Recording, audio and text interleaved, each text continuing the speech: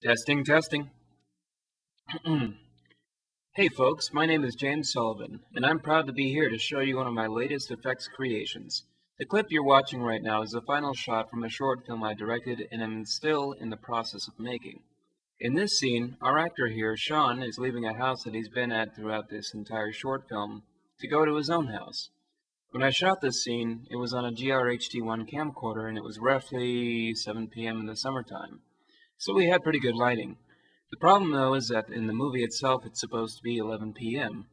So as you can tell here by how the shot turned out, it doesn't quite look like 11 p.m. And that means I've got to do some work using Adobe After Effects. Now I'm not going to give you a step-by-step -step tutorial on how to do this. I'm just going to give you a layout of the different phases I put this footage through. Since it doesn't quite look dark enough, I figured a nice day for night tinting would do, but that's still not quite enough for the whole scene. In the scene prior to this one, we saw that the front hall inside the house had its lights on. That window over there should be glowing, so I have to brighten it up. There we go. I added a second layer of the footage, matted off the window, and added a glow effect.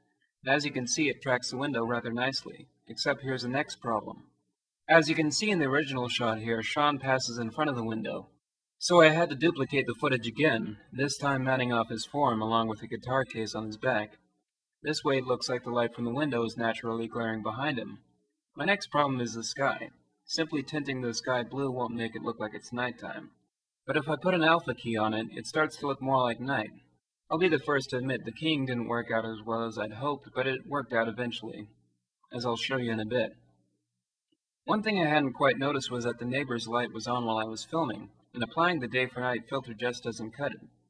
So I did a process similar to that of the window, only this time there's a miniaturized adjustment layer tracking it instead of a new matte. So I have all the right things in place for a convincing night shot, but there's still one thing missing. Shouldn't the sky have stars or something? I know how to fix that. I created a star layer with a photograph of stars I found online as a backdrop, and to make it look more like I'm not just staring upwards, I matted off the stars at a certain point and even added in the moon as a nice touch. Proper layering, and several motion trackers later, I was able to add my star composition into the final shot. So let's see how everything looks now as a final shot. Not bad, eh? The night's pretty blue, but for the sake and style of the movie, I think the blueness works out rather nicely. Other filmmakers may not wish to have their nights as blue, but like I said, it depends on the style you're going for. As you can see now, some of the artifacts I couldn't get rid of with the alpha matte appear to be doubling as stars in the night sky. And if you have a sharp eye, you may even notice that the plastic strap hanging from the zipper on the case looks a little different. That's because during the alpha keying process, I noticed the strap was starting to disappear. So I added a hand-drawn strap over it to cover it up. You'll notice that the daylight reflecting off the top of the cars is still there, which is why I added the moon into the scene to make it more like moonlight.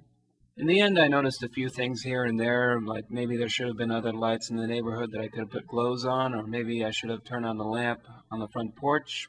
But then again, you can't really see any other lights in the neighborhood, and not everyone keeps their porch light on overnight. In any case, I hope you enjoyed this demonstration of my artistic skill and abilities, and if I make anything else significant enough to showcase, I will do so. This is James Sullivan, signing off.